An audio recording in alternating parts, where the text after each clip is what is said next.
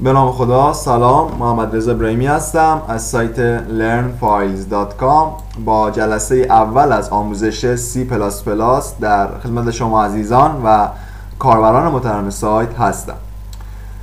ما توی طول این دوره قصد داریم مباحثی رو عنوان کنیم تمرین هایی رو حل کنیم مثال هایی رو بزنیم که این مثال ها کاربردی باشن. حالا منظورم از کاربردی بودن مثال ها چیه؟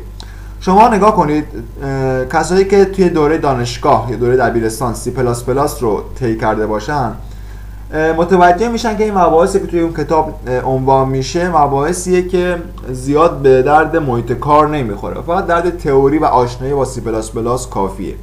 ولی ما هدفمون این نیست. یعنی ما نمی‌خوایم مباحثی که عنوان میشه فقط در این باشه که شما بگین خب پس سی پلاس پلاس رو همین چیزی من بلدم. ما می‌خوایم سی پلاس پلاس رو به شما بفهمونیم. شما رو به قول معروف با سی پلاس پلاس آشتی بدیم. و خیلی ها هم ممکنه به دلیل اسمش یا به دلیل اینکه مثلا حالا ترسناک بودنش سمت این زبان نرن. ولی اصلا این زبان خیلی زبان خیلی کاربردی و زیباییه و میشه گفت ریشه همه زبان های برنامه نویسیه سی و سی پلاس پلاس مخصوصا. و ما هدفمون اینه که مثال هایی که می‌زنیم کد که می‌نویسیم همه کاربردی باشه. همه به صورت عملی باشه و برای شما توی محیط کارتون درآمد داشته باشه و سود داشته باشه. حتما اون تمرین هایی که بهتون واگذار می‌کنم در طول دوره رو انجام بدید به اون ایمیلی که بهتون معرفی می‌کنم بفرستید حتما. فرض کنید که اینجا یک محیط کلاسه و شما موظفین که این تمرین ها رو انجام بدید. برای خودتون میگم چون اگه بخواید فقط بیننده این فیلم باشید به این فیلم میشه گفت تکیه کنید اینطوری اصلا پیشرفت نخواهید کرد. پس تمرین ها رو هم انجام بدید یا مثال هایی رو که من توی این میشه گفت دوره می‌زنم رو خودتون تمرین کنید تو خونه. فقط به مثال من اتکا یا متکی نباشید. و نکته اصلی که بازم میگم اصلا از زبان سی پلاس پلاس نترسید. نه سی پلاس پلاس هر زبان دیگه ای چون ترس شما از یک زبان برنامه نویسی اولین و مهمترین نقطه ضعف شما تو یادگیری اون زبانه. یعنی شما از زبانی بترسید مطمئنا اون زبان رو یاد نمی‌گیرید. اون زبانه که باید از شما بترسه که شما دارید اون رو شکستش می‌دید. خب بریم سراغ این که اصلا سی پلاس پلاس چیه و چرا ما سی پلاس پلاس رو انتخاب کردیم. همونطور که می‌دونید سی پلاس پلاس همونطور که از اسمش هم مشخصه یکی از مهمترین و پیشرفته ترین زبان که از خانواده C و Assembly میاد.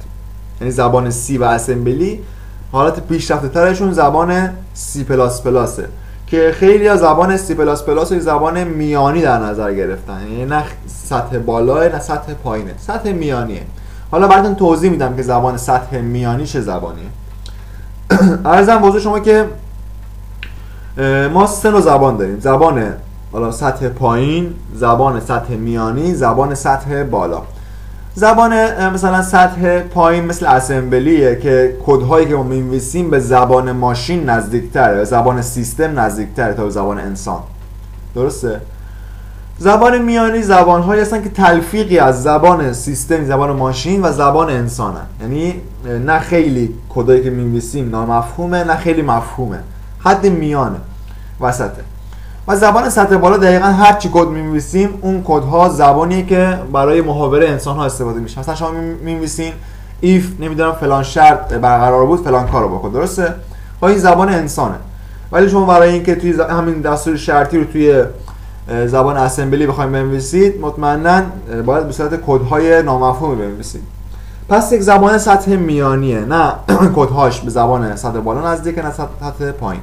در می وسطه. و یکی که گفتم از مهمترین مزیتاش همینه که از خانواده سی و اسمبلیه یکی دیگه از مزیتاش نسبت به زبان سی و زبانهای قبلی خودش اینه که شیگرایی رو هم در بر داره. یعنی ما می‌تونیم با زبان سی پلاس پلاس بیایم و object oriented کد نویسی کنیم. به صورت شی‌گرا کد نویسی کنیم. که حالا شاید خیلی از شما شی‌گرا رو بدونید چیه و شاید خیلی هم ندونن چیه. شی‌گرا یک نوع جدید برنامه نویسی از دید من که خیلی میشه گفت جالبتره و خیلی منظمتره. حالا ما توی طول این دوره شی‌گرا رو کاملا توی سی پلاس پلاس با هم کار خواهیم کرد.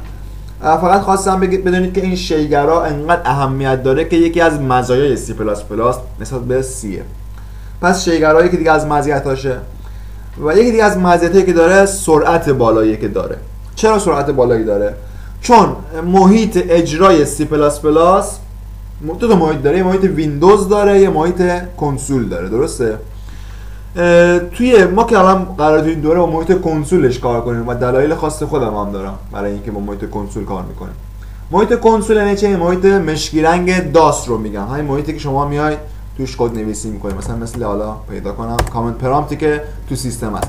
مثلا اینجا کد نویسی می‌کنید و الان میشه گفت نتیجهش داخل محیط کد نویسی می‌بینید پس یکی از دلایلی که داره اینه که میشه گفت اون محیط اجراش محیط کنسول و محیط DOS ه. بخاطر همین چون وابسته به سیستم عامل ویندوز نیست محیط اجراش سرعت خیلی بالاتری داره.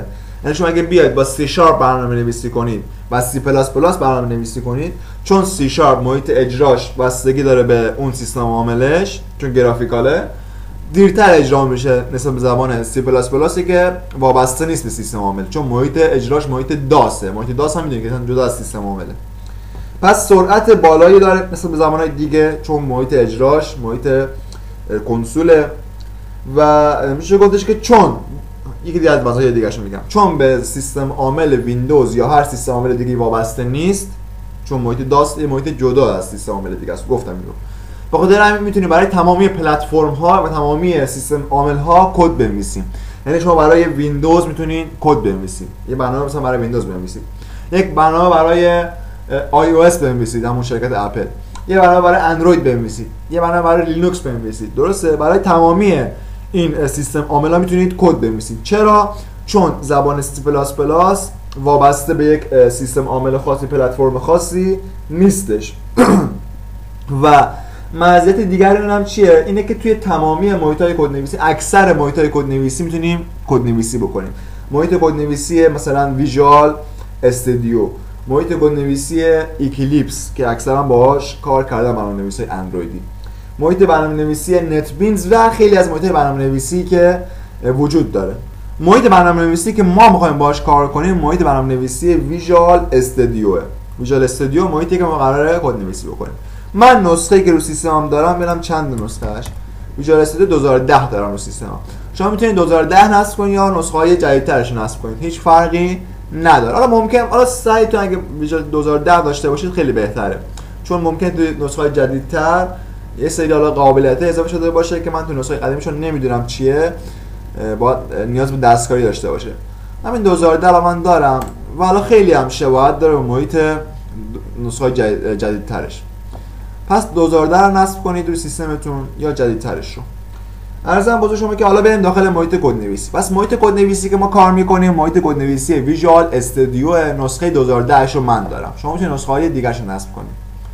ارزم بزرگ شما که حالا از این محیط اصلا نترسید. این محیطش بخاطر شلوغ بودنش یکم ترسناک است. ولی شما اصلا نترسید. چون این راه قبلا رفتم و ترسی هم نداره.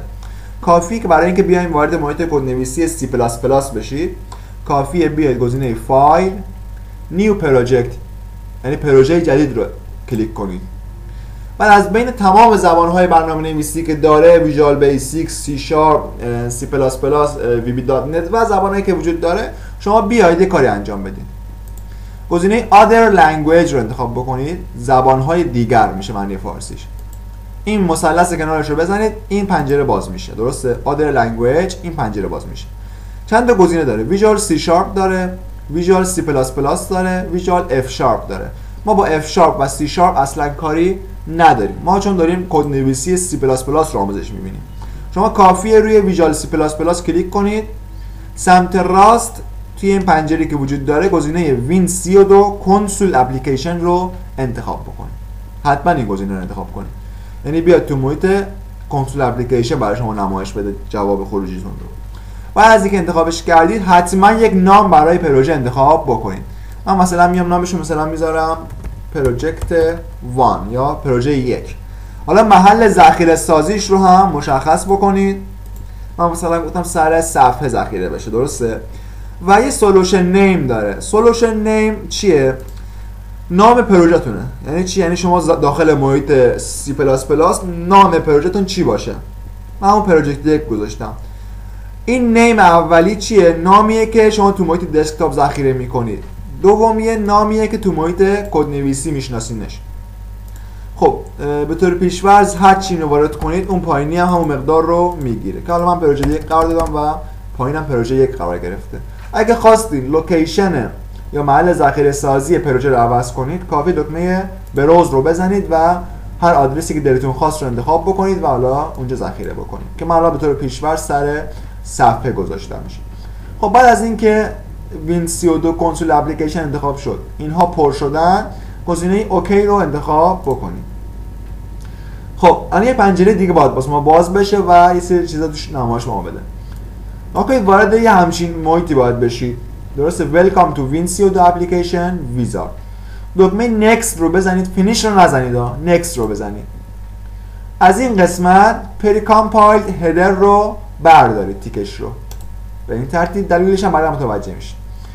و گزینه console application هم انتخاب باشه. پس حتما این تیک رو بردارید و این هم انتخاب باشه.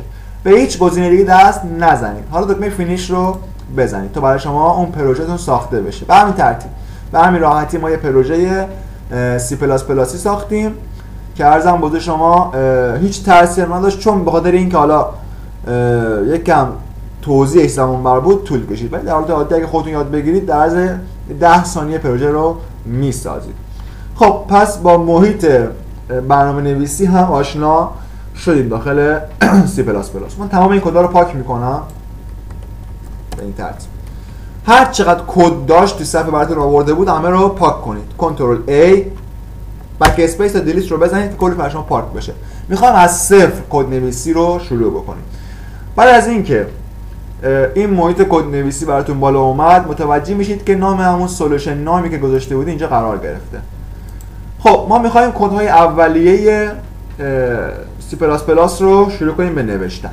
ما کنیم ما یه سری کدهای اولیه داریم. یعنی کدها همیشه باید اول برنامه نویسی وجود داشته باشن. هر برنامه می‌خوام بنویسی باید اینا وجود داشته باشن.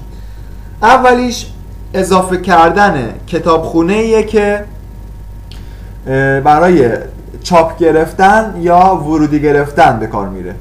مثلا ممکنه شما مثلا بیاید بگید چاپ کن حرف علی رو. یا از کاربر یه عددی بگیرید درسته؟ برای اینکه این دریافتی ها و خروجی ها کار بکنن باید یک کتابخونه اضافه بشه. sharp می‌ذاریم میگیم include درسته؟ sharp. include علامت کوچیکتر علامت بزرگتر. اون متن داخلش رو من تغییر میدم به stream IO stream پس میگم sharp include علامت کوچیکتر. O stream علامت بزرگتر. زمانی که این کتاب خونه رو اضافه می‌کنم این کد رو اضافه می‌کنم. الان اگه من بیام بگم چاپ کن علی رو یا بگم از کاربر یه عددی بگیر کار می‌کنه. ولی اگه اینو وارد نمی‌کردم می‌گفتم چاپ کن علی رو برنامه من error می‌داد. پس برای ورودی خروجی ها از IO stream استفاده می‌کنیم. IO اول همون input output ه یا ورودی خروجیه. کتابخونه بعدی میگیم شار include دیگه کوچیک‌تر بزرگتر نمی‌ذاریم. میگیم double quotation به این ترتیب. خودش اضافه کرد. نام به طور پیشفرض کتابخونه stdafx.h stdafx.h این کتابخونه مربوط به compiler Visual Studio مربوط به compiler Visual Studio کامپایلر چیه؟ شاید براتون سوال پیش بیاد. ما زمانی که مثلا کد می‌نویسیم خط اول می‌نویسیم اگر مثلا. عددی که از کاربر گرفتی بزرگتر از ده بود چاپ کن که عدد بزرگتر از ده. درست دو تا خط کد نوشتیم دیگه. اولی اگر بزرگتر از ده بود دومی چاپ کن ده. کامپایلر کارش اینه که میاد از بالا به پایین شروع می‌کنه کدها رو به آنالیز کردن و بررسی کردن. اولی رو می‌خونه میگه نوشته اگر بزرگتر از ده بود. بعد میاد پیش خودش نگاه می‌کنه اون عدد بزرگتر از ده هست یا نه. بعد میاد خط دوم که میگه چاپ کن علی رو. بر اساس اون شرطی گذاشتیم علی رو چاپ می‌کنه. پس آنالیز می‌کنه برنامه رو. ما اگه اینو ننویسیم به مشکل می‌خوریم که اجرای برنامه. این کد به کامپایلر یا همون کسی که بررسی می‌کنه میگه که بیا سریعتر بررسی کن و دقیقتر بررسی کن کد ها رو. خب این از این. و سومین کدی که بنویسیم اینه. میام میگم using namespace به این ترتیب std و semicolon می‌ذارم. namespace ها رو من جلوتر براتون توضیح میدم. الان زوده براتون بگم چیه. کلا. فقط بدونید using namespace std به این معنایی که من استفاده کردم از namespace ی به نام std namespace std چیه؟ نگاه شما فرض کنید توی یک کلاسی ما دو تا علی داشته باشیم. دو تا علی داشته باشیم. توی کلاس درس کلاس مدرسه معلم وارد کلاس میشه میگه علی درس ریاضی رو ده شد. الان شما متوجه میشید کدوم علی منظور معلم بوده؟ نه. اگه این علی ها رو ما بیایم مثلا با فامیلیشون صدا بکنیم درسته؟ مشخص میشه کدوم علیه. ولی اگه علی خالی بگی مشخص نمیشه. همینقدر به کوتاه براتون بگم تو بخش namespace ها باز کامل توضیح بدم براتون. همینقدر کوتاه براتون بگم که این namespace ی به نام std که استفاده کردیم برای اینه که اگه جاهایی نام های یکسانی داشتیم بتونیم اینها رو با هم دیگه میشه گفت تفاوت قائل بشیم براشون یا کاری کنیم که سیستم متوجه بشه که این دو با هم دیگه فرق دارن. همینقدر فعلا برای این جلسه کافیه که بدونید در مورد namespace std حالا تو مبحث namespace ها کاملا توضیح میدم که چی هستن. یا فضای نام. namespace فارسی میشه فضای نام. پس کارش اینه که بیایم. دو تا حالا متغیر دو تا تابع. دو تا هر چیزی که شبیه هم هستن رو از هم دیگه میشه گفت بالا تمیز بدیم یا جدا کنیم این از هم دیگه. خب پس این کد اولی انجام شد. حالا به این کد ها میگن کد های header یا کد های س... header چی میشه به قول میشه گفت سرفصل یا کد های top بالای صفحه. اینا کد های header میگن سه تا خط کد رو.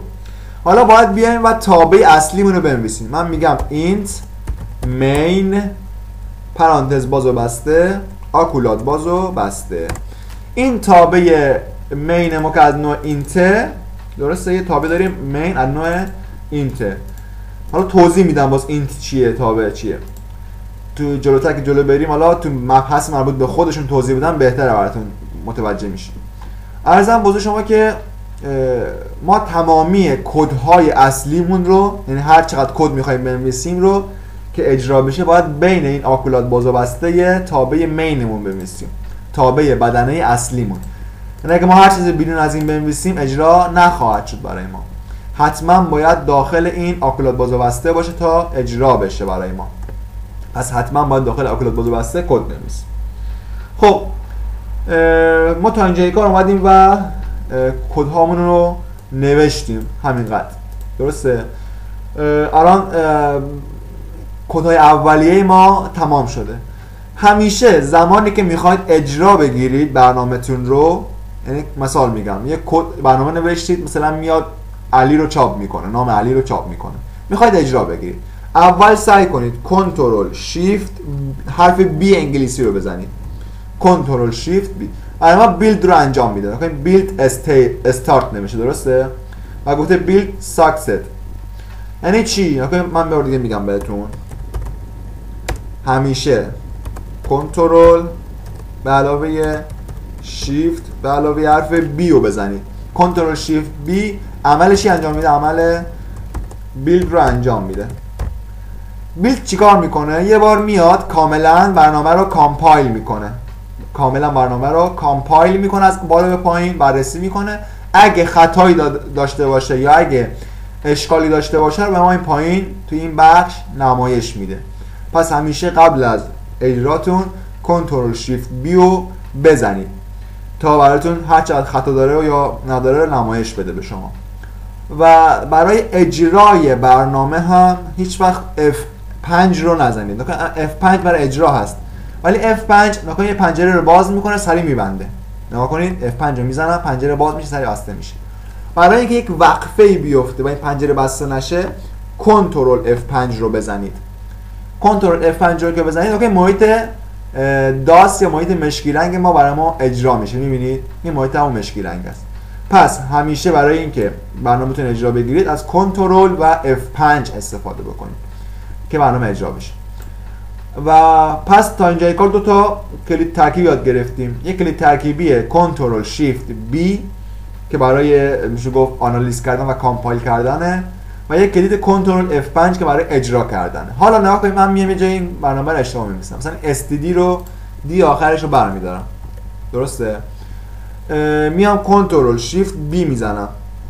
خب چیکار کرد من؟ یک دو تا خطا گرفته. نکنین خطای اولی و خطای دومی.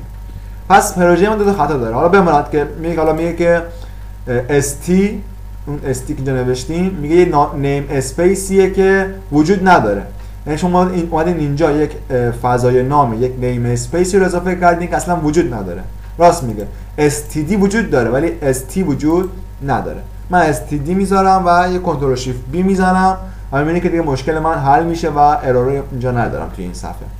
و یه نکته جالب بهتون بگم. هر وقت توی محیط plus توی Visual Studio خوب دقت کنید. توی برنامه‌نویسی plus توی Visual Studio error ی داشته باشید یه خطایی داشته باشید به شما کد خطا میده. نگاه کنید مثلا میام میگم st من st میشه گفت st گذاشتم. control shift B و می‌زنم. نگاه کنید بود error C 2871 C انگلیسی ها کاراکتره. الان هر وقت error C 2871 رخ بده مربوط به چیه؟ مربوط به namespace های منه. درسته؟ یا مربوط به نبود namespace یه موجود نبودن namespace یه. هر وقت یه خطایی رو نمی‌دونید معنیش چیه می‌خواید search بکنید یا برای یه کارشناسی بفرستید توی محیط Visual Studio توی برنامه‌نویسی C plus plus کافی کد خطا رو حفظ کنید. الان اگه بیاید توی اینترنت شما error C 2871 رو search کنید من search انجام بدم. search بکنید دلیل خطا رو برای شما عزیزان نمایش میده. من میام میگم error C 2871 درسته؟ نگاه این خطاشو گفته دیگه می error C 2871 std درسته؟ براتون میاره که میگه هم std does not exist. یعنی این کتاب فضای نامی یا namespace ی که اضافه کردیم وجود نداره. پس همه خطاها توی Visual Studio کد دارن. الان مثلا من میام ببندم یک اینو درست کنم. مثلا بیام بنویسم یک کدی بنویسم اینجا که این کد اصلا وجود نداره. یا کد اشتباه نوشتم. control shift B می‌زنم. میگه خطای 20 65 و خطای 21 43 درسته؟ بعد دو تا خطا گرفته. یک کدش 2065 که میگه این کدی که الان نوشتیم SSS اصلا بی معنیه و 2143 هم داریم که میگه اصلا syntax ش اشتباهه. یعنی چی؟ یعنی شما آخرش رو نبستید نمی‌دونم. قبلش نگفتید این SSS چاپ بشه چی بشه. پس چند نوع خطا می‌گیره. فقط خواستم میگم که هر خطایی که توی برنامه پیش اومد هر خطایی که پیش بیاد یک کد داره که برای رفع خطا از اون کد استفاده می‌کنه خب من یه بار دیگه به عنوان آخرین مباحث این جلسه توضیح بدم از اول. ما اولین کتابخونه که اضافه کردیم آی او استریم بود که گفتم برای اینه که ما بتونیم از دستورات چاپ و دستورات دریافتی استفاده کنیم مثلا بیایم بگیم چاپ کن محمد رو چاپ کن عدد دو رو چاپ کن رضا رو. و یا مثلا بگیم دریافت کن نام کاربر رو دریافت کن سن کاربر رو. درسته؟ برای اینکه این کدهای دریافت کن و چاپ کن ما کار بکنن توی برنامه باید بیایم این کتابخونه iostream که مربوط به خروجی و ورودی هاست رو add کنیم که ما با sharp include add کردیم. همیشه هم با sharp اولش باشه. و برای اینکه compiler Visual Studio ما سریعتر کار کنه و دقیقتر کار کنه باید می اومدیم و یک کتابخونه اضافه می‌کنیم تحت عنوان stdafx.h درسته؟ که اینا add ش کردیم فقط فرقش با بالای اینه که اینجا علامت کوچیک‌تر بزرگتر داره. این نباید داشته باشه. تو خط سوم اومدیم یک namespace ی تحت عنوان std اضافه کردیم و کارش رو هم گفتیم برای اینه که بیاد تفاوتی بین نامه های مشابه قائل بشه. و تابع اصلی یا بدنه اصلی برنامه رو مشخص کردیم که هر چقدر قرار کد بنویسیم بین آپلود باز و بستش می‌نویسیم.